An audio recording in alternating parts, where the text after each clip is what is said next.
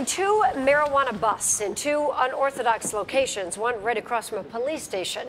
Both happened on Detroit's east side, leading to several arrests. Investigators carted away 148 plants worth $427,000 on the streets. 7 Action News reporter Shelley Childers has the latest for us now on the investigation. Shelley. Police are still working to figure out how many people are behind this massive marijuana grow operation. And behind me is the second location where they found more than 100 plants growing inside. One by one, nearly 150 marijuana plants were seized from two buildings on Detroit's east side. The first, with 40 plants and a street value of $127,000, discovered across the street from Detroit's 11th precinct. Cops smelled the odor, got a warrant, and made the bust.